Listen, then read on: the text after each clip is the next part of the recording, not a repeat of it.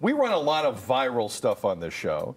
Uh, but in this case, one of our own has gone viral. A shout out to Chris Wiggins, morning show host at 107.1 Country in Abbotsford and 93.3 Country in Fort McMurray. Uh, Chris, in his infinite wisdom, decided to post a video of his neighborhood's new roundabout. Oh boy. Let's take a look at the new roundabout Okay. in Chris's area. How's this going? Things aren't going great. Uh oh, that's almost an accident. Um, No one really understands how it works. No, to be fair, if you've never been on one before, it is very disconcerting and discombobulating. Is it though? Yes, it's Is like it? where do I get off? It's not Round downtown round. Paris. Like no, it's but not it that is. complicated. I remember the first oh. time. Oh, oh no, oh, that's, no. Not, that's not safe. No. Yeah. No. And this has racked up a ton of views. How many views? 3.7 million That's a ton. views on TikTok. Whoa. Where are you going? No, because guys, I don't know about you. I didn't learn about roundabout driving when I went to driving school. Like there were no roundabouts for me to test. You know what I mean? Are people just flat out off the road? Like what's going on? Yeah, they're like.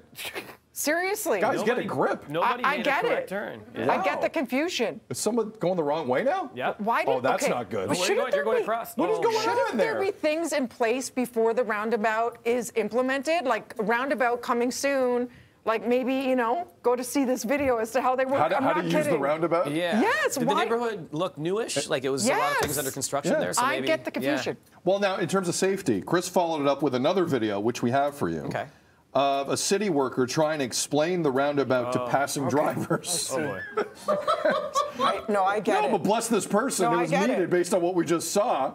It was a complete hazard in every direction. Nobody knew what they were doing. oh my gosh. Look, roundabouts are. I'm sorry, they're not that. They're not that complicated. You know what they They're need? not. They need more thorough signage. They need the sign. Like get off here or here. Like give me the arrows in the right direction. Make it idiot proof. Make it neon sign. Because if you've never been on one, it is. It's it's it's very difficult to You're- navigate. Wait a second. Wait a s- Sorry, I, I'll No, give you my. I take. get it. European roundabouts mm-hmm. are intimidating. Yes. Yes. Don't the give me. I could go to Georgetown, Ontario, right now and find one and, and make my way. Yeah. Really? It's not Really? the same.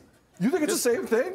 I think do. a Paris roundabout and and that is the same thing? No, I think it's equally like if you're not used to it, it's equally disconcerting when you're on it. Like, how do I get on? Where do I get off? I'd just be going around all day like the We movie. need to find a roundabout. Yeah, there's a couple. There's a couple north of, north of the city here that I've gone through, and Yeah. I know I, I knew roundabouts because of the UK, like going to see family in the UK sure. and, and navigating that way. I understand they can be a little bit tricky, but as long as you have the sign there showing the curve to it and where you would exit, You and need the sign. The yield signs have to be there. Nobody was yielding. They looked like there was not much signage there. Could you so I think imagine maybe doing that a could have been the roundabout problem. in but London? I don't think it's that tough. But it's not like they put the roundabout down in four hours and surprised everybody. They knew it was coming. Like people in the area knew something was up. Where like, do you, unless unless there's a quick way to make a roundabout. But when it's something new that you're not accustomed to, that's what happens. Could you imagine trying to drive in London where it's on the wrong side plus to a roundabout? Forget it. Right. You're using different Done it. parts of the brain. London. Done it. This You've is not it. London.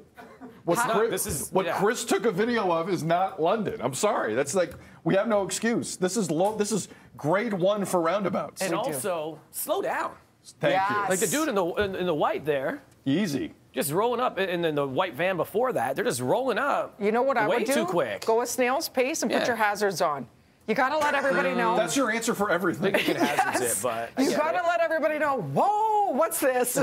Hang on, give me a second. Snail's Well, hopefully they figure it out soon. Hopefully they do. and no one gets hurt. 'cause seriously, that's, Dee. yeah. But shout out to colleague Chris Wiggins. That, that thing went viral and uh, good stuff, Chris.